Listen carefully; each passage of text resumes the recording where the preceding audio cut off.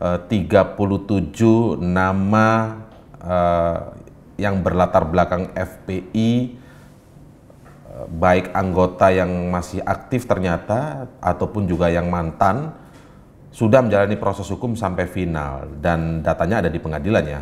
Mungkinkah Pak pembeberan nama ini hanya untuk menunjukkan rekam jejak FPI saja?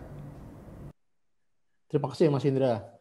Jadi sebetulnya yang kami sampaikan, dalam hal ini disampaikan oleh eh, Komisioner Pak Beni Mamoto, yang kebetulan Ketua Harian, itu bukan hanya menyasar soal FPI, tapi kami lihat fakta bahwa ternyata di dalam organisasi FPI itu ada orang-orang yang eh, tercatat pernah terlibat dalam eh, kaitannya dengan terorisme. Itu saja kaitannya ya, sehingga eh, apakah itu ada konteks dengan uh, rekonstruksi yang kemudian hmm. polisi itu hmm. bagian di luar di luar dari yang sebetulnya pembahasan disampaikan Pak Beni sebetulnya ya. Hmm, hmm.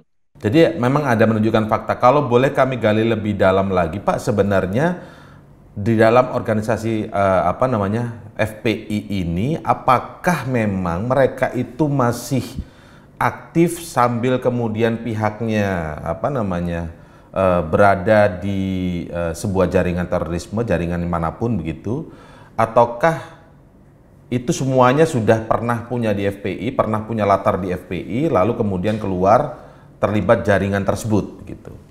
Karena FPI merasa itu oknum dan dan itu disampaikan begitu oleh FPI bahwa itu oknum. Jadi uh, data di kami dalam kurun waktu 2010-2020 itu ada lebih dari 1.800 orang tersangka terorisme. Dalam proses hmm. penyidikan itu hmm. kan digali banyak data, banyak fakta. Betul. Nah, dari situ tercatat ada 37 tersangka itu pernah tergabung aktif dalam kelompok FPI. Apakah hmm. itu merupakan bagian internal FPI atau merupakan eh, apa, komando FPI? Kita tidak sampai ke sana. Tetapi hmm. kita tahu bahwa tentu saja mereka itu punya teman, punya hmm. pengaruh, punya yeah, kaitan yeah. ya, ya dan itu penyidik tentu akan lebih menggali. Jadi yang hmm. yang disampaikan hanya itu saja sebetulnya